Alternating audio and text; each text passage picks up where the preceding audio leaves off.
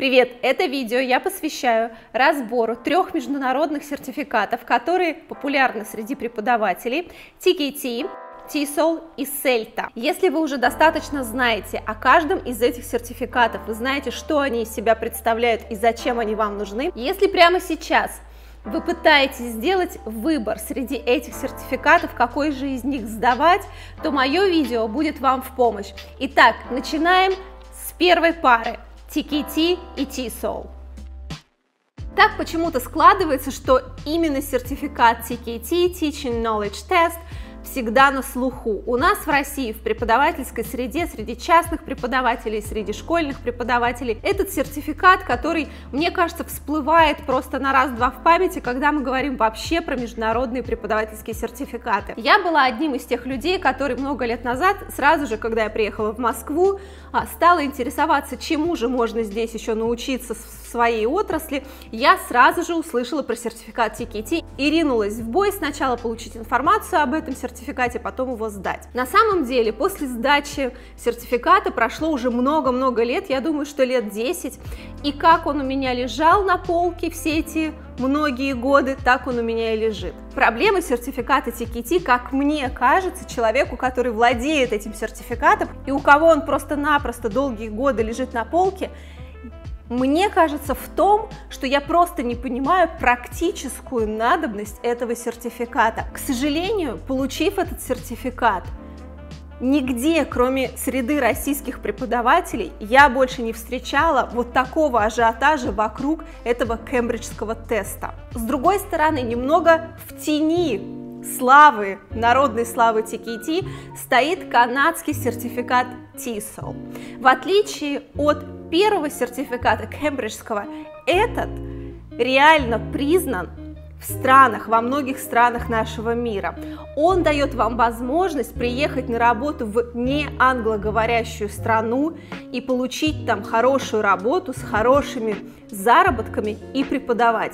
Ни разу не слышала о том, что работодатель за границей запрашивал бы у преподавателя сертификат TKT. То есть первое сравнение, если мы проводим между сертификатом TKT и TESOL, то TKT сразу же начинает проигрывать, потому что он практически в мире не востребован. Тисел, наоборот же, дает вам дорогу в этот мир, открывает перед вами возможность найти себе работу за рубежом.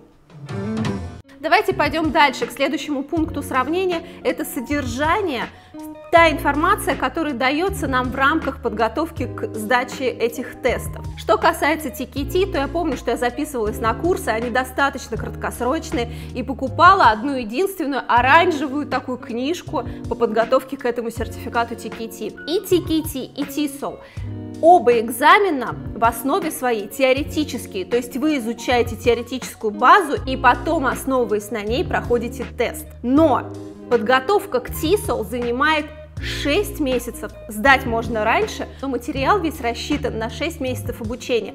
О чем это говорит? О том, что материала по преподаванию, по методикам намного больше в сертификате TESOL.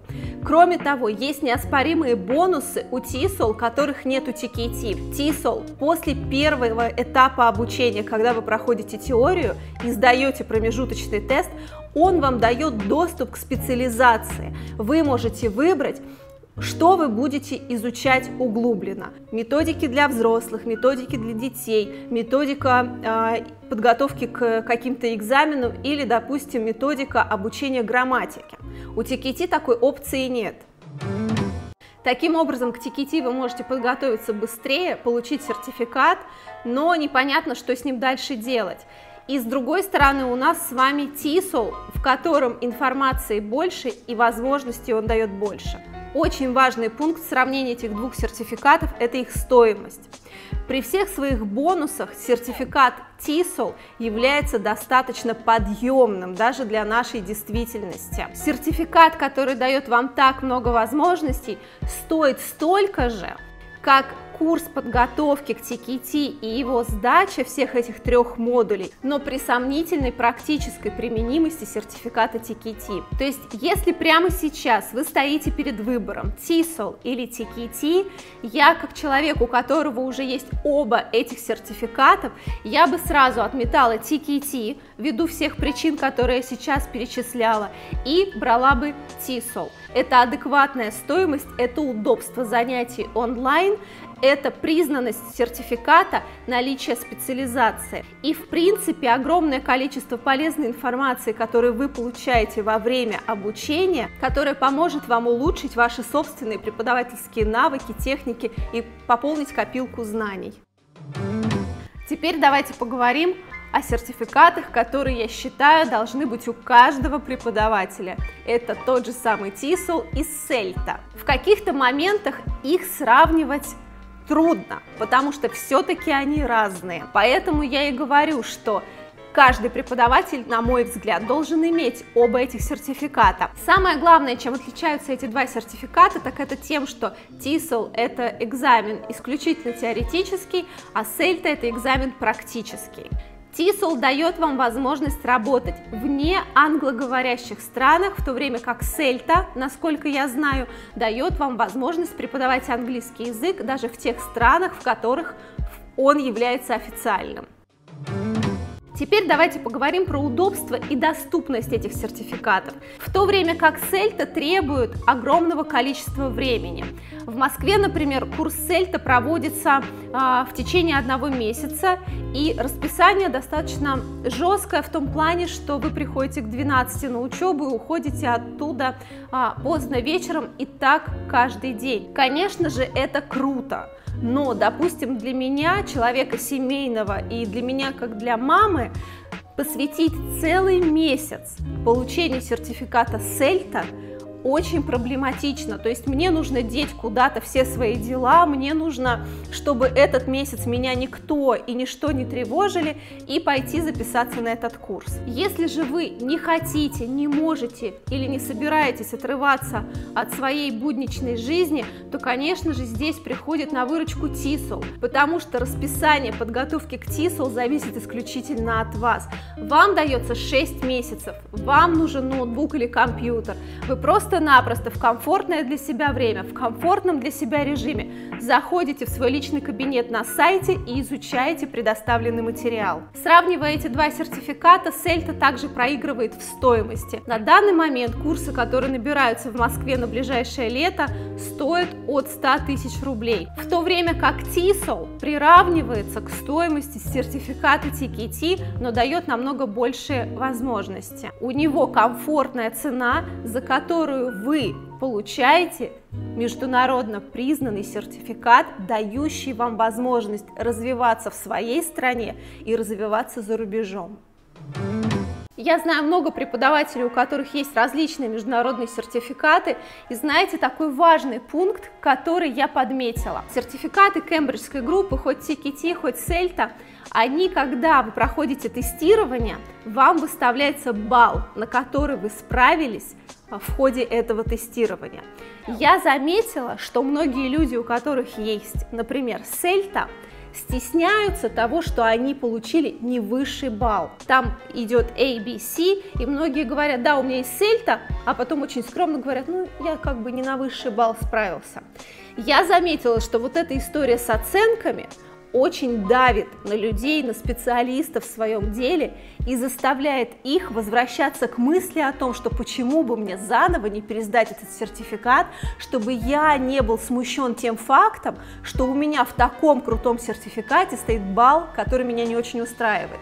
И вы, получается, либо всю жизнь стесняетесь этого сертификата и никому его не показываете, да, потому что кажется, что с вами якобы что-то не то, раз вы не получили высший балл.